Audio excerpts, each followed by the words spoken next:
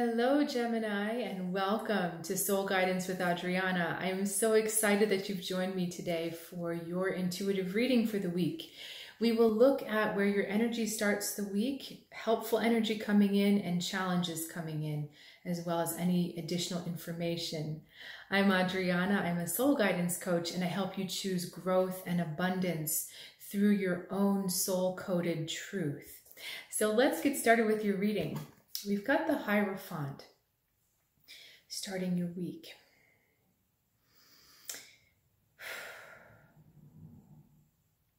There is a sternness. I'm feeling more the authority figure side of this card rather than the spirituality figure of this side of this card. So we're looking at an authority that is telling you there is only one way to go from point A to point B. And there is a tendency to want to believe that authority figure instead of figuring out what really works for you and what your own truth really is. What I love about this card in this deck is that it's got symbols from all different faiths. Hierophant is a fancy name for a priest, and it's the typical energy is, or the typical um, image is more associated with the church. We have a little bit of that here, but in the book, we have all these different paths to truth, the idea that there's different paths to truth. And authority figures are here to advise, but they are not here to um, designate is not the right word to tell you that this is the only way, this is the right way. They're not here to decide for us. They are just here to inform us based on their perspective and experience. But at the end of the day, the path to truth is always a an individual path. There might be similar themes, but no two souls are alike. We're all incredibly unique. And there are patterns that we all share, patterns that we can all learn from and benefit. But at the end of the day, this is about honoring your uniqueness. Okay, let's look at beneficial energy for you. Mourning, three of swords, letting go, releasing. It's time to really stop looking backwards at what was lost, at why it happened or what it meant and bringing other people into that story, bringing other people into that narrative. It's kind of like you're trying to spread it around a bit, um, Gemini, instead of allowing everyone to release it. When you speak with it with others or you allow other people to think about it, it actually magnifies the energy of what you're focused on because it's activating their emotions, it's activating your emotions, it's activating through a connection to them. And so it's the opposite of letting go. Now, there's a difference between needing to talk through something to understand it, to release it. That's one thing. But right now, what's happening, Gemini, is that you're just trying to pull as many people into this story as possible without the intention to let it go. And having the intention to let it go is going to allow much more expansion and growth for you. Okay, let's look at the challenge for this week power. Okay com being combative or involved in struggle just for the joy of it. So again, these two cards are talking to each other. They're, they're talking to me through, through this. When we think of getting involved in something for the joy of struggle, there's no actual outcome except an inward, and maybe, maybe, there's really no actual outcome here. So what's happening is neither of these cards are seeing any forward movement, any growth. These guys are headed for each other, but they're equally matched in strength. And so they're not going to actually go up, they're just going to cancel each other out. So when you spread your energy around in a way that is may seem cathartic, like you're getting yourself, you're getting the energy out, you're getting it out, you're getting it out, you need to really watch what your intention is before you share.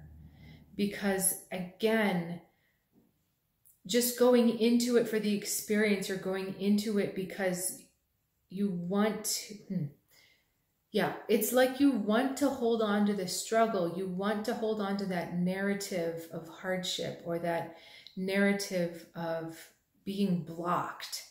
You just want to hold on to that.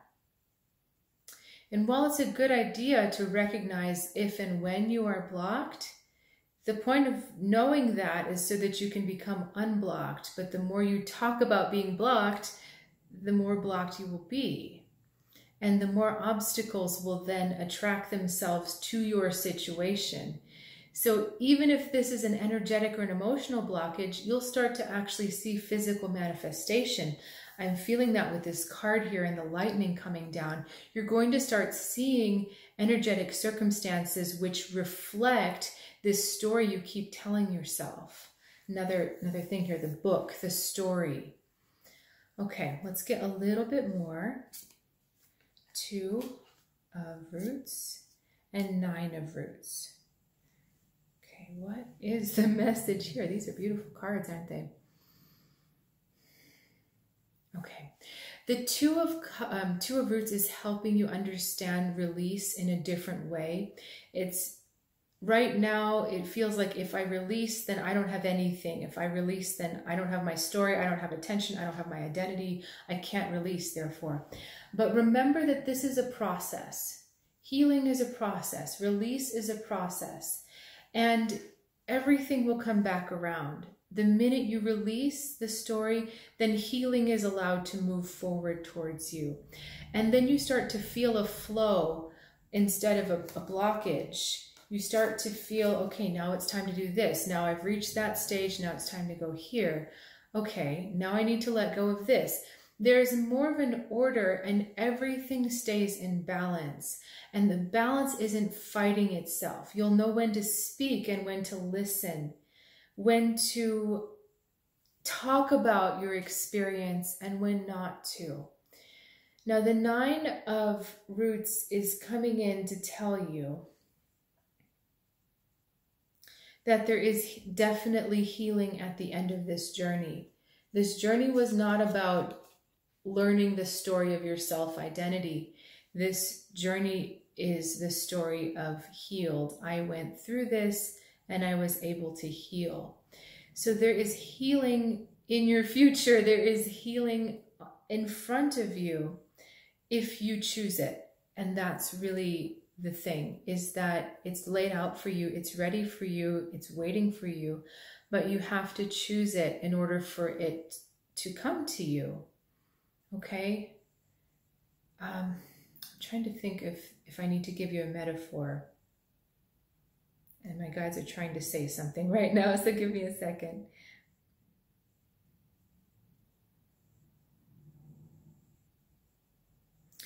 They are also saying that this is about embracing being in balance. When we are grieving or broken or trying to get over something, we are so used to being out of balance that we forget what it feels like and the the um, the dysfunction actually feels right.